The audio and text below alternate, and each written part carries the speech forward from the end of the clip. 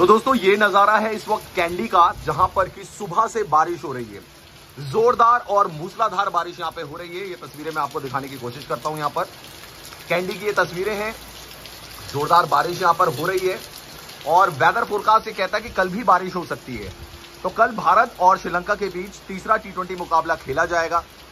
तीसरे टी मुकाबले को जीतकर भारत तीन शून्य से सीरीज़ को अपने कब्जे में करना चाहेगा, क्लीन स्वीप करना चाहेगा श्रीलंका का। लेकिन बारिश उसमें सबसे बड़ा रोड़ा है। यानी कि जो रेन है, वो विलन बन सकती है। और ये आप देख सकते हैं कितनी तेज यहाँ पे बारिश हो रही है। और ये बारिश सिर्फ़ कैंडी में नहीं हो रही है, बल्कि कोलंबो में भी हो रही है। इसकी वजह से जो प्रैक्टिस सेशन था, वनडे के खिलाड़ियों का, जिसमें रोहित शर्मा, श्रेयस अय्यर, कुलदीप यादव, के राहुल शामिल थे, उनका भी जो प्रैक्टिस सेशन था, वो कैंसिल कर दिया गया। ये आप देख सकते हैं, और ये बारिश दिन भर से हो रही है। हाँ ये कि कभी बारिश थोड़ा कम हो रही है, ज़्यादा हो रही है लेकिन कंटिन्यूटी में बारिश हो रही है। आप देख सकते हैं यहाँ पे कितनी तेज इस वक्त बारिश हो रही है। अब दोस्तों, तीसरा टी ट्वेंटी इसलिए भी इंपॉर्टेंट है कि अगर भारत कुछ खिलाड़ियों को चांस देना चाहता है, जो कि बेंच पर बैठे हुए हैं, उनको अगर आजमाना है तो तीसरे टी ट्वेंटी में चांस दिया जा सकता था, क्योंकि, या दिया जा सकता है, क्योंकि भारत ऑलरेडी सीरीज़ को जीत चुका है। लेकिन अगर ऐसे ही बारिश होती रही और मैच नहीं खेला गया तो फिर उन खिलाड़ियों के लिए मुश्किल हो जाएगा। एक चीज़ और भी है शुभमन गिल पर सबकी नज़रें टिकी हुई है कि उनका जो नेक स्पाज में यानी कि गर्दन की जो जकड़न हुई है उनको, वो ठीक हो पाई है या नहीं हो पाई है? तो इसको लेकर मैच से पहले फैसला लिया जाएगा।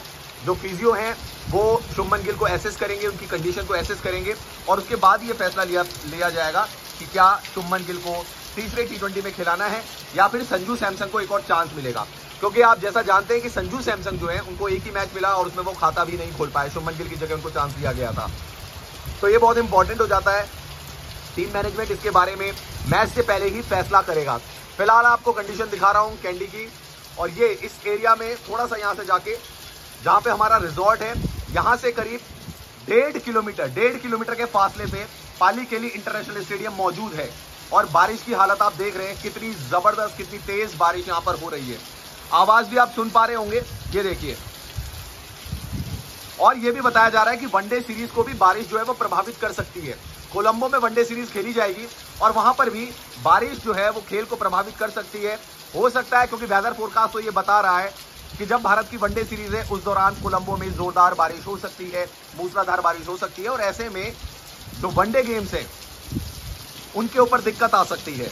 क्योंकि 50-50 ओवर का गेम कराना और बारिश अगर होती रहेगी तो वो आसान नहीं रहेगा आयोजकों के लिए भी, श्रीलंका क्रिकेट बोर्ड के लिए भी।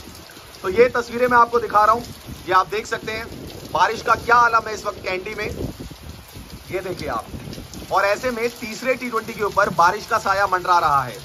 बारिश अगर होती है, जोरदार होती है और मैच नहीं हो पाता है तो फिर आप जानते हैं, भारत तो सीरीज़ जीत ही चुका है। पर कुछ खिलाड़ी जिनको और चांस दिया जा सकता था, शायद उनको चांस ना मिल पाए।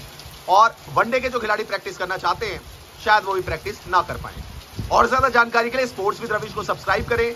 रविश बिश वन के नाम से मेरी इंस्टाग्राम आईडी है, वहाँ पे भी आप मुझे फॉलो कर सकते हैं।